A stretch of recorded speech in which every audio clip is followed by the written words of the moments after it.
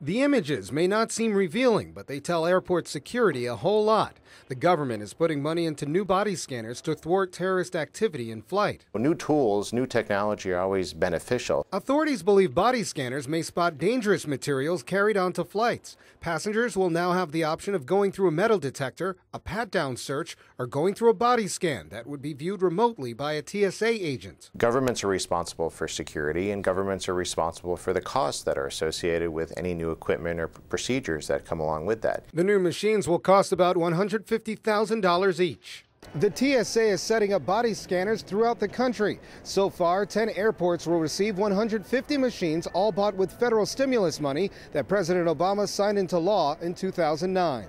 The Transportation Security Administration has spent years on testing full body imagers. Plans to deploy them this year were given added urgency after the arrest of Nigerian man Umar Farouk Abdul accused of attempting to detonate an explosive sewn into his underwear on a December 25th flight. But the scanners are causing controversy over issues of discrimination. An 80 year old gentleman who'd served his country, and the guy was pulled aside and harassed and searched.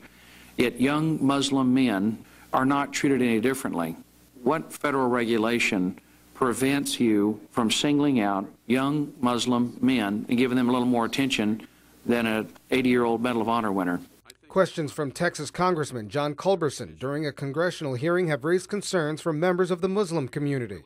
It's one more example of someone uh, in a position of power speaking before they think, or even maybe before they think about uh, recent events. Um, we can see some recent examples that prove that uh, profiling people based on their religion or even their age is not going to catch people who are out to hurt people. But the first wave of scanners are already on their way, not only testing the effectiveness of airline security, but also boundaries of privacy and profiling. Colin Campbell, Washington.